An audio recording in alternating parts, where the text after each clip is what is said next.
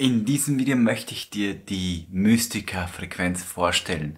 Der Untertitel sagt schon sehr viel, ähm, ein Sound hinter der wahren Realität. Was bedeutet das genau? Und zwar habe ich versucht, mit meinem neuen Tonstudio eine neue Art von Musik zu produzieren. Und zwar eine Musik, die du so nicht hörst. Die wirst du auf Spotify nicht hören oder sonst irgendwo. Ich habe versucht, Elemente des Lebens, Elemente des Universums, man könnte auch sagen, Musik aus der Zukunft in die Gegenwart zu bringen. Ja? Zum Beispiel habe ich versucht, ähm, das Ticken einer Uhr in eine Musik einzubauen und diese mit einer Dissoziation einzubauen in eine Melodie und das Ganze als Musikstück zu einzubauen. Ja? Und wenn du das Cover gesehen hast gerade, dann wirst du wissen, es geht um Musik, es geht um Gesang.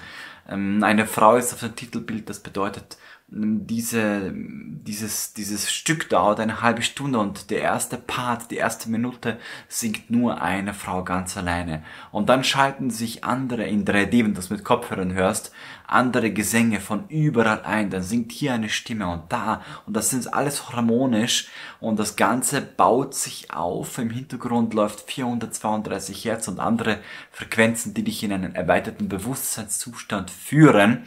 Ähm, in jedem Fall baut sich das dann immer weiter auf bis zum Höhepunkt und dann flacht das Ganze ab. Dann kommt die zweite Phase, wo, wo du in die Entspannung kommst, wo du in die Trance hineinfällst. Und dann baut sich sozusagen dieses Ticken ein, diese Uhr, eine eigene Musik dazu, die du, die du nie irgendwo gehört hast. Das ist eine ganz eigene Form von Musik. Lass dich also überraschen, was dann kommt.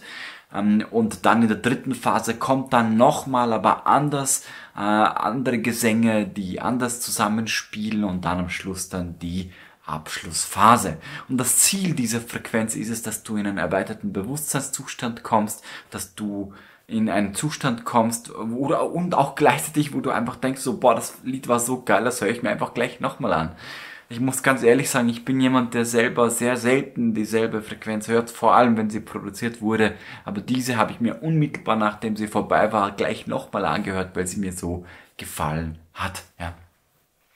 Also, ähm, lass dich überraschen, was dich erwartet, was für eine Art von Musik dahinter steckt und ähm, was du dabei erlebst. Ich kann es kaum erwarten auf dein Feedback. Schreib es mir unten in den Kommentaren hinein oder im Shop ähm, und wenn du die Frequenz testen willst, kannst du es einfach in der Brainwave 3D App einfach machen, kannst sieben Tage lang kostenlos runterladen und testen. Ich wünsche dir viel, viel Freude damit und kannst kaum erwarten, dich im nächsten Video wieder zu sehen. Ciao!